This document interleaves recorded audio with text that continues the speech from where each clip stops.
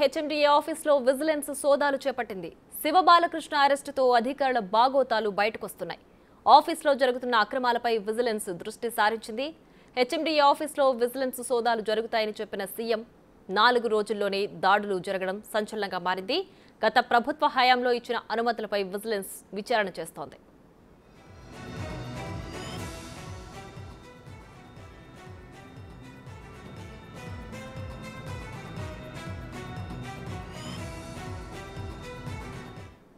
ఇక మరింత సమాచారం మా ప్రతినిధి సురేష్ ఫోన్ లైన్ అందించడానికి సిద్ధంగా ఉన్నారు. సురేష్ చెప్పండి హెచ్ఎండి ఆఫీస్లో విజిలెన్స్ సోదాలకు సంబంధించి పూర్తి డీటెయిల్స్ ఏంటి?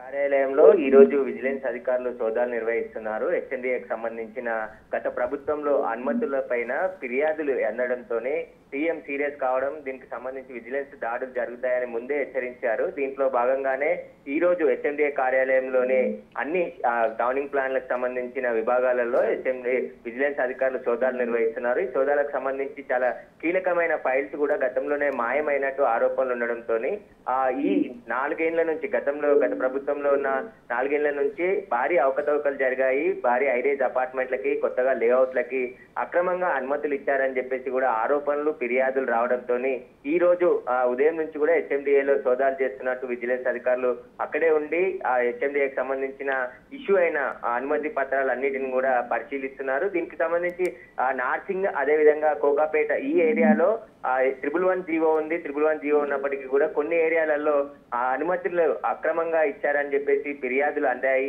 ఏసీబీకి అందాయి ఇటు ప్రభుత్వానికి కూడా చాలా మంది ఫిర్యాదులు అందించడంతోనే దీనికి సంబంధించి పూర్తి దర్యాప్తు చేసి అసలు ఏం జరిగింది హెచ్ఎండిఏలో అని చెప్పేసి కూడా ప్రభుత్వం ఆదేశించింది. దాంట్లో భాగంగానే ఈ రోజు విజిలెన్స్ అధికారులు సోదాలు నిర్వహిస్తున్నారు. సోదాలు సోదాలో ఆ, తర్వాత ఆ, విజిలెన్స్ అధికారులు ప్రెస్ మీట్ పెట్టే అవకాశం కూడా కనబడుతుంది. దీనికి సంబంధించి ఎందుకంటే ఆ చెరువులు కూడా ఈ హెచ్ఎండిఏ పరిధిలో ఉన్న చెరువులను కూడా మాయం చేసి అక్కడ అనుమతులు అంది ఇచ్చారని చెప్పేసి కూడా ఆరోపణలు ఉన్న నేపథ్యంలో వీటన్నిటిపైన కూడా విజిలెన్స్ సమగ్రంగా దర్యాప్తు చేసి అసలు ఈ సంబంధించిన ఫైల్స్ అన్నిటి కూడా పరిశీలించనున్నారు.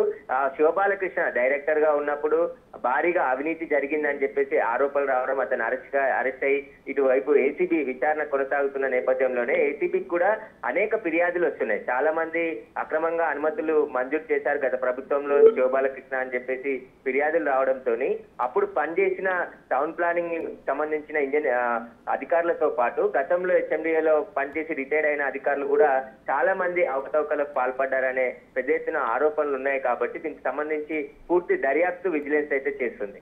Right Suresh thanks for the details